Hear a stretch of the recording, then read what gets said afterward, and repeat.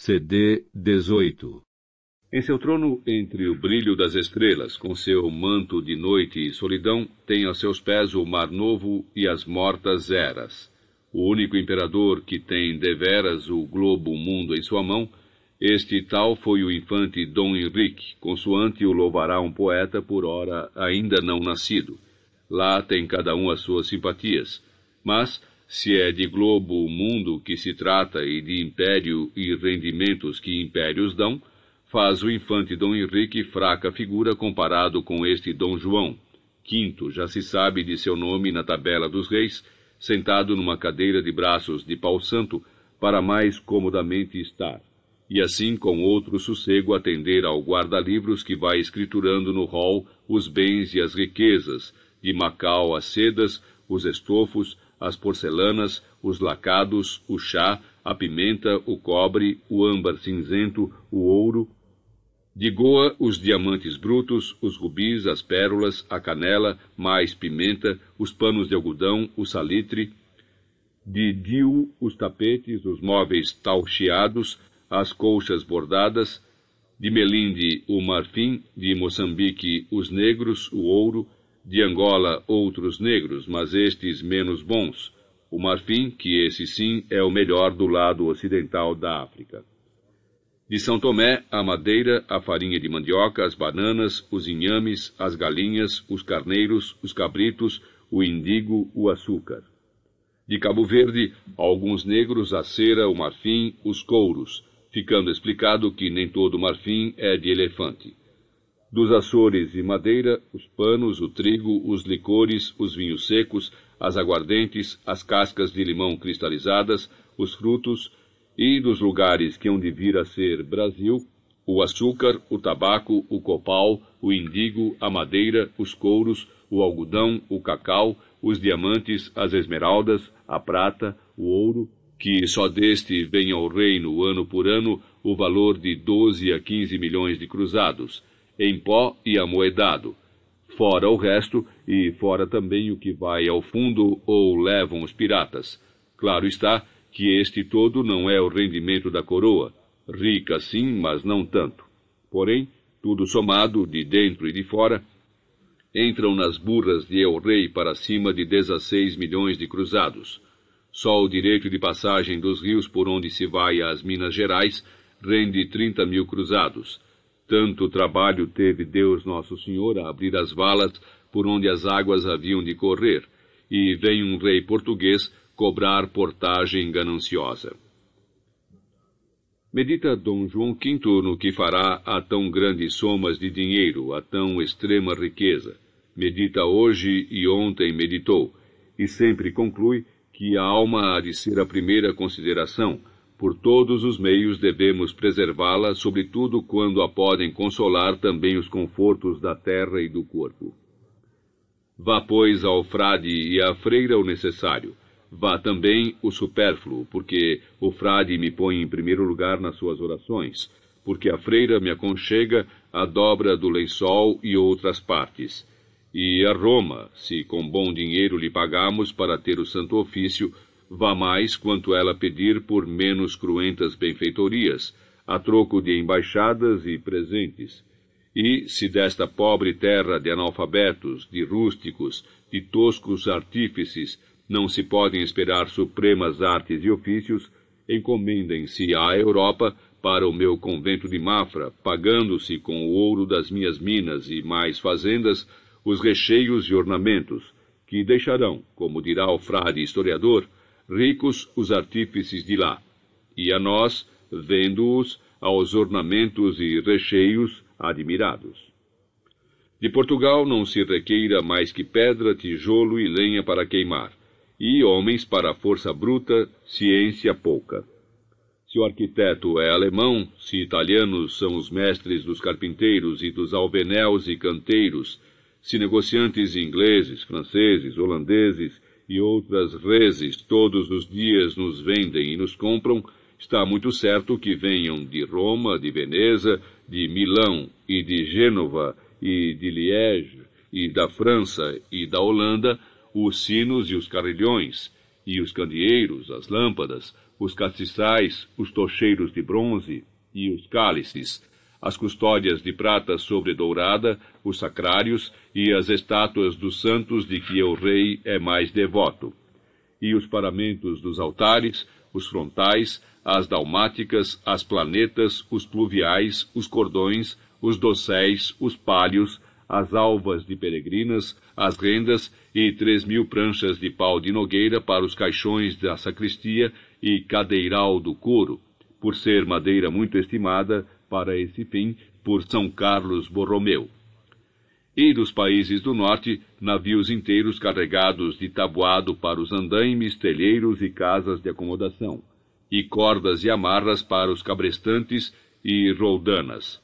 E do Brasil, pranchas de angelim incontáveis para as portas e janelas do convento, para o solho das celas, dormitórios, refeitório e mais dependências, incluindo as grades dos expulgadoiros. Por ser incorrompível madeira, não como este rachante pinho português, que só serve para ferver as panelas e sentar-se nele gente de pouco peso e aliviada de algibeiras. Desde que na vila de Mafra, já lá vão oito anos, foi lançada a primeira pedra da basílica, essa de Pero Pinheiro, graças a Deus, tudo quanto é Europa vira consoladamente a lembrança para nós, para o dinheiro que receberam adiantado, muito mais para o que hão de cobrar no termo de cada prazo e na obra acabada. Ele é os ourives do ouro e da prata, ele é os fundidores dos sinos, ele é os escultores de estátuas e relevos, ele é os tecelões, ele é as rendeiras e bordadeiras, ele é os relojoeiros, ele é os entalhadores, ele é os pintores, ele é os cordoeiros, ele é os serradores e madeireiros, ele é os passamaneiros, ele é os lavrantes do couro, ele é os tapeceiros, ele é os carrilhadores, ele é os armadores de navios.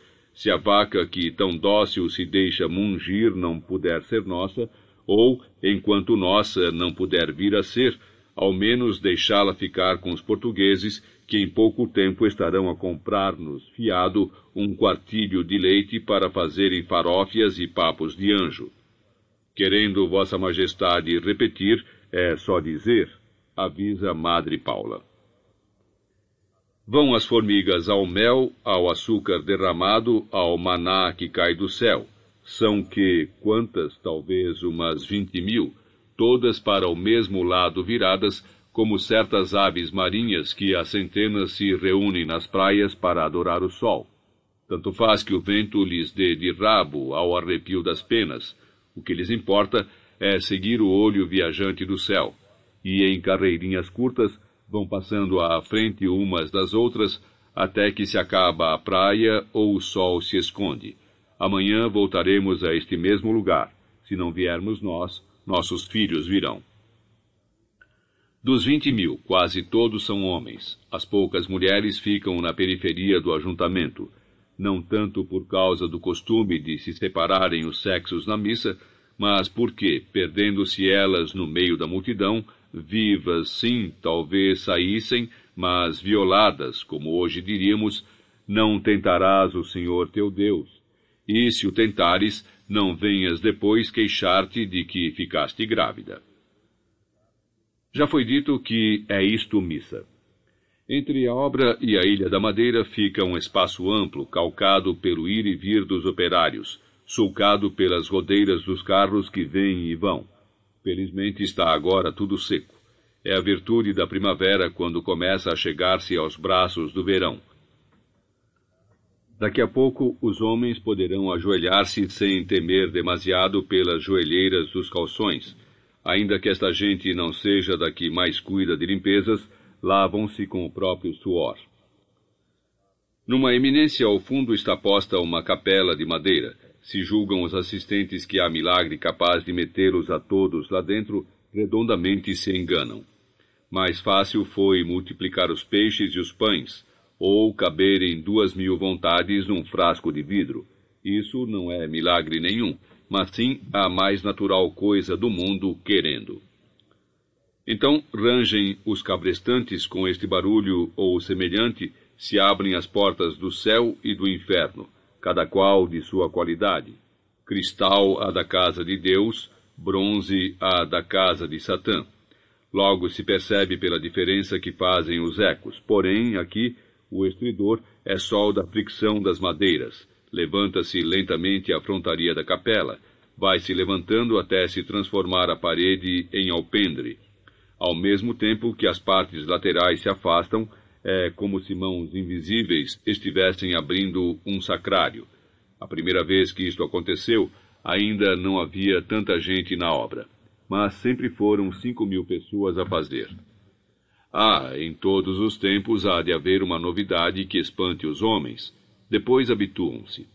Abriu-se, enfim, a capela de par em par, mostrando lá dentro o celebrante e o altar. Será esta uma missa como outra qualquer? Parece impossível, mas toda esta gente já se esqueceu de que Mafra foi um dia sobrevoada pelo Espírito Santo. Diferentes são as missas que precedem as batalhas campais. Quando se contarem e enterrarem os mortos, sabe-se lá se não estarei entre eles. Aproveitemos bem o santo sacrifício, salvo se o inimigo atacar antes, ou por ter ido à missa mais cedo, ou por ser de uma religião que a dispensa. Da sua gaiola de madeira, pregou o celebrante ao mar de gente. Se fosse o mar de peixes, que formoso sermão se teria podido repetir aqui, com a sua doutrina muito clara, muito sã, mas, peixes não sendo, foi a pregação como a mereciam homens, e só a ouviram os fiéis que mais ao perto estavam. Porém, se é certo que o hábito não faz o monge, faz sem dúvida a fé. Ouvindo o assistente réu, já sabe que foi dito céu, se eterno, inferno, se isto Cristo, se Zeus Deus, e, se mais nada se ouve, palavra ou eco, é porque acabou o sermão e podemos debandar. Espantoso é ter-se acabado a missa e não terem ficado mortos no terreno. Não os matou sequer o sol quando deu em cheio na custódia e faiscou. Muito mudadas estão as eras, já vai tempo que, estando os betsamitas no campo a ceifar o seu trigo, levantaram por acaso os olhos do trabalho e viram que vinha a arca da aliança da terra dos filisteus. Pois foi quanto bastou para caírem ali redondos cinquenta mil e setenta. Agora olharam vinte mil. Estavas lá, não dei por ti. É uma religião de grandes lazeres, mormente estando reunidos tantos fiéis. Onde é que se arranjar vagar e instalações para se confessarem todos ou todos comungarem? Assim vão ficar por aí ao Deus dará, se der, bocejando muito, entrando em brigas, umbigando uma mulher atrás de um valado ou em lugares mais ribaldeiros até amanhã, que é outra vez dia de trabalho. Baltazar atravessa o terreiro. Há homens que armam inocentes jogos de malha outros que eu rei proíbe, como o caras ou cruzes. Se vem por aí o corregedor na sua volta, não passam estes sem tronco. Esperam Baltazar no sítio combinado Blimunda e Inês Antônia, e ali irão ter também, ou já lá estão, Álvaro Diogo e o filho. Descem todos juntos ao vale. Em casa espera-os o velho João Francisco, que mal pode mexer as pernas contenta-se com a missa discreta que o vigário diz na igreja de Santo André. Assiste toda a casa do Visconde, provavelmente por isso são os sermões menos aterradores, embora tenham a desvantagem de se terem de ouvir por inteiro, e logo se notarem as desatenções de quem ouve, tão naturais quando os anos são muitos ou muito fatigaram. Acabam de jantar. Álvaro Diogo dorme a cesta o filho vai aos pardais com outros da sua idade. As mulheres remendam e passajam discretamente, porque este dia é de guarda e, portanto, não quer Deus que se trabalhe. Porém, se este rasgão não fosse remendado hoje, amanhã estaria maior.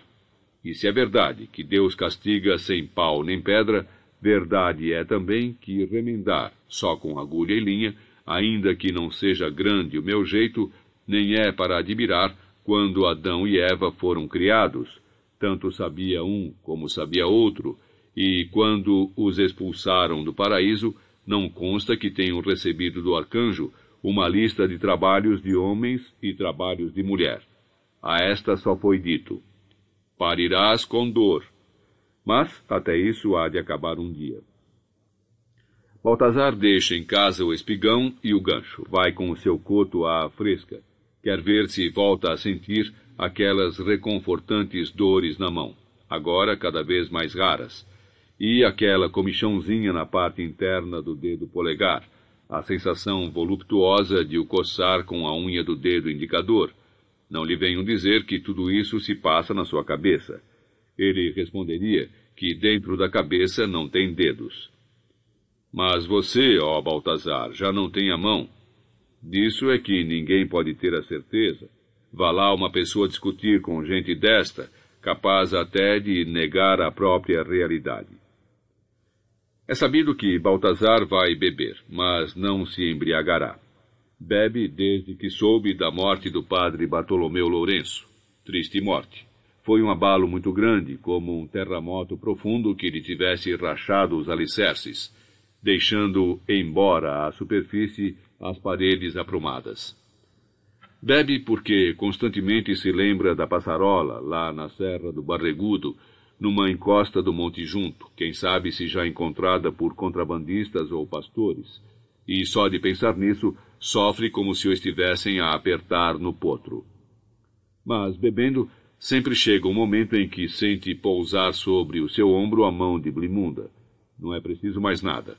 Está a Brimunda sossegada em casa. Baltazar pega no púlcaro cheio de vinho, julga que o vai beber como bebeu os outros, mas a mão toca-lhe no ombro. É uma voz que diz: Baltazar. E o púlcaro volta à mesa intacto. Os amigos sabem que não beberá mais nesse dia. Ficará calado, ouvindo apenas enquanto o torpor do vinho se desvanece lentamente e as palavras dos outros refazem um sentido, ainda que seja o da mesma e repetida história. O meu nome é Francisco Marques, nasci em Cheleiros, que é aqui perto de Mafra, umas duas léguas. Tenho mulher e três filhos pequenos. Toda a minha vida foi trabalhar de jornal. E como da miséria não via jeito de sair, resolvi vir trabalhar para o convento, que até foi um frade da minha terra, o da promessa, segundo ouvi contar, que nessa altura era eu um rapazito, assim como teu sobrinho. Mas vá lá que não tenho muitas razões de queixa. Cheleiros não é longe. De vez em quando meto pernas ao caminho. As duas que andam e a do meio dá como resultado que a mulher está prenha outra vez. O dinheiro que eu forro, lá lhe deixo. Mas os pobres como nós têm de comprar tudo, não lhes vem por negócio da Índia ou do Brasil, nem temos empregos ou comendas do passo. Que é que eu posso fazer com os duzentos réis de jornal? Tenho de pagar o que como aqui na casa de pasto e o púlcaro de vinho que bebo. A vida vai boa é para os donos das vendas de comida. E se é verdade que vieram obrigados de Lisboa muitos deles, eu, por necessidade, vivo e necessitado continuo. O meu nome é José Pequeno. Não tenho pai, nem mãe, nem mulher que minha seja. Nem sei sequer se o nome certo é este, ou se tive algum antes. Apareci numa aldeia ao pé de Torres Vedras. Pelo seguro, o vigário batizou-me José é o nome de Pia. O pequeno puseram-mo depois, porque não cresci muito. Com esta corcunda às costas, nenhuma mulher me quis para viver. Mas todas pedem mais, se calha deixarem que me ponha em cima delas. Não tenho outra compensação. Chega-te para cá, agora vai-te embora. Se me vejo velho, nem para isso sirvo.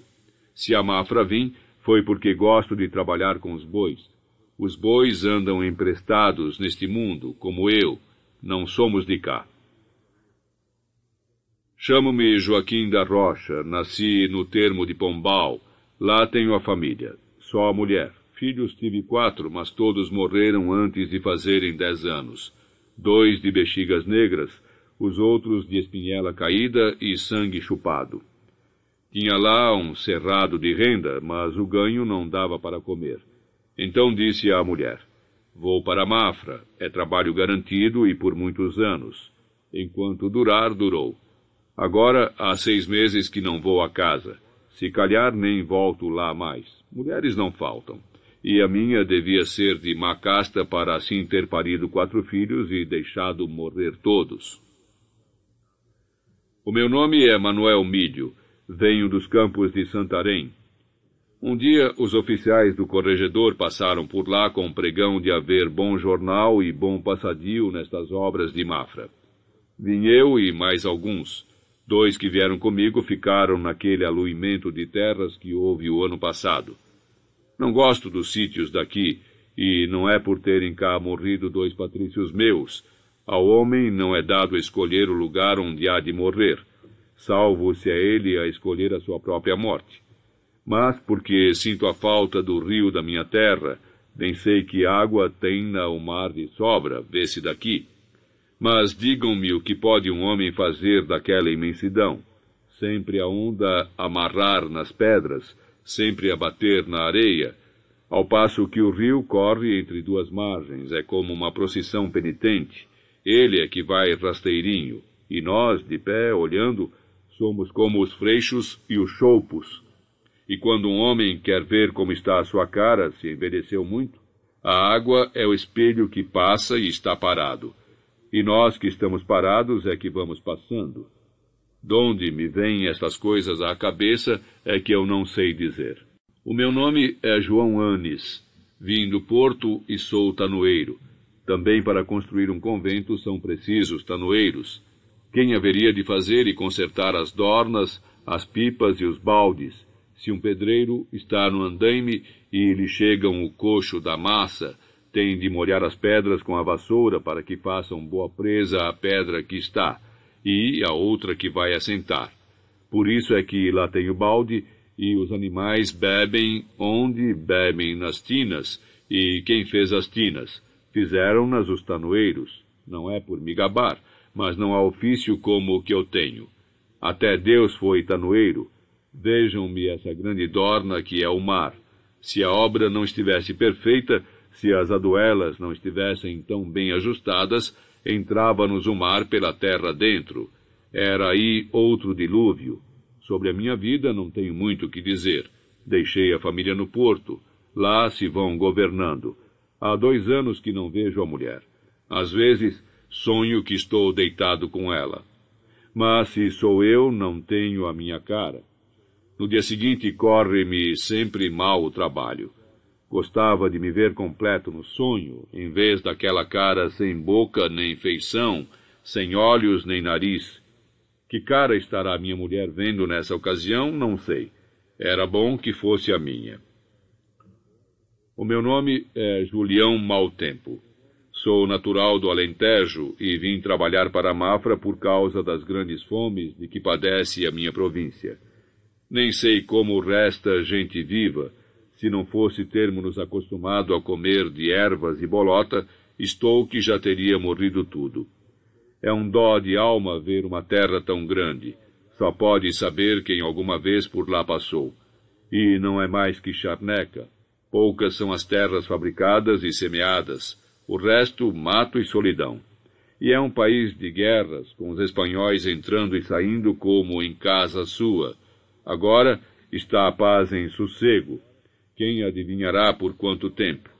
Mas os reis e os fidalgos, quando não é dia de nos fazerem correr e morrer a nós, fazem correr e morrer a caça. Por isso, ai do pobre que for apanhado com um coelho na saca, ainda que o tivesse achado já morto de doença ou velhice.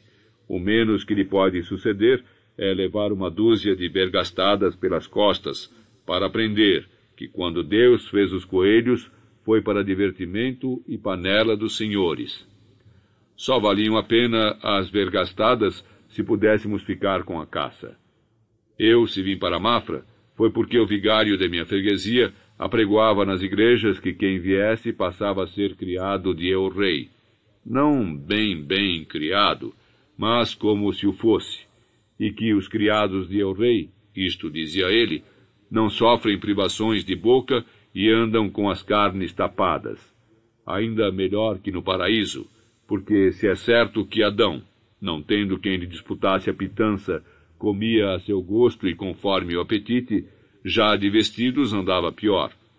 Afinal, saiu-me tudo mentira. Do paraíso não falo, que não sou desse tempo. Mas de Mafra, sim. Se não consigo morrer de fome, é porque gasto tudo quanto ganho. Roto ando como andava. E quanto a ser criado de eu-rei, ainda espero não morrer sem ver a cara do meu amo, a não ser que me agonie de estar tanto tempo longe da família. Um homem, se tem filhos, também se alimenta de ver a cara deles. Bom era que se alimentassem eles de ver a nossa cara. É o destino acabar-se a vida a olharmos uns para os outros. Quem és tu que vieste cá fazer? Quem eu seja e o que faça, já perguntei e não tive resposta.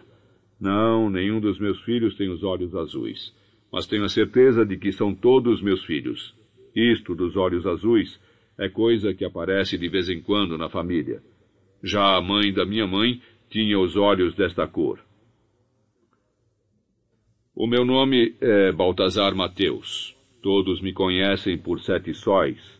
O José Pequeno sabe por que assim lhe chamam. Mas eu não sei desde quando e por que nos meteram os sete sóis em casa. Se fôssemos sete vezes mais antigos que o único sol que nos alumia, então devíamos ser nós os reis do mundo. Enfim, isto são conversas loucas de quem já esteve perto do sol e agora bebeu demais. Se me ouvirem dizer coisas insensatas, ou é do sol que apanhei, ou do vinho que me apanhou. O certo é ter nascido aqui há quarenta anos feitos. Se não me enganei a contar, minha mãe já morreu. Chamava-se Mata Maria. Meu pai mal pode andar. Acho que lhe estão a nascer raízes nos pés ou é o coração à procura de terra para descansar. Tínhamos aí um cerrado, como o Joaquim da Rocha, mas com tanto mexer de aterros já lhe perdi o sítio. Até eu levei alguma terra dele no carro de mão. Quem haveria de dizer ao meu avô que um neto seu atiraria fora a terra que foi cavada e semeada? Agora põe-lhe um torreão em cima. São as voltas da vida, a minha também não tem dado poucas, enquanto moço cavei e semeei para os lavradores. O nosso cerrado era tão pequeno que o meu pai dava conta do trabalho em toda a volta do ano, e ainda ficava com tempo para tratar dos bocados que trazia de renda. Bem, fome, o que se chama fome, não passamos, mas fartura ou suficiência nunca soubemos o que era. Depois fui para a guerra de El Rei. Ficou-me lá a mão esquerda. Só mais tarde é que soube que sem ela começava a ser igual a Deus. E como deixei de servir para a guerra, voltei a Mafra. Mas estive uns anos em Lisboa. É só isto e nada mais.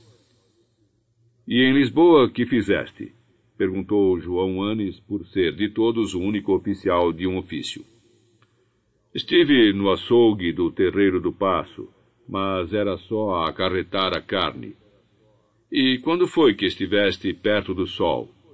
Isto quis Manuel Milho saber, provavelmente por ser ele o que costumava ver o rio passando. Essa foi de uma vez que subi a uma serra muito alta, tão alta que estendendo o braço tocava-se no sol. Nem sei se perdi a mão na guerra, se foi o sol que me queimou. E que serra era? Em Mafra não há serras que cheguem ao sol, e no Alentejo também as não há, que Alentejo conheço eu bem. Perguntou Julião Maltempo. Talvez tenha sido uma serra que nesse dia estava alta e agora está baixa. Se para arrasar um monte destes são precisos tantos mil tiros de pólvora, para fazer baixar uma serra alta gastava-se toda a pólvora que há no mundo disse Francisco Marques, o que primeiro falara.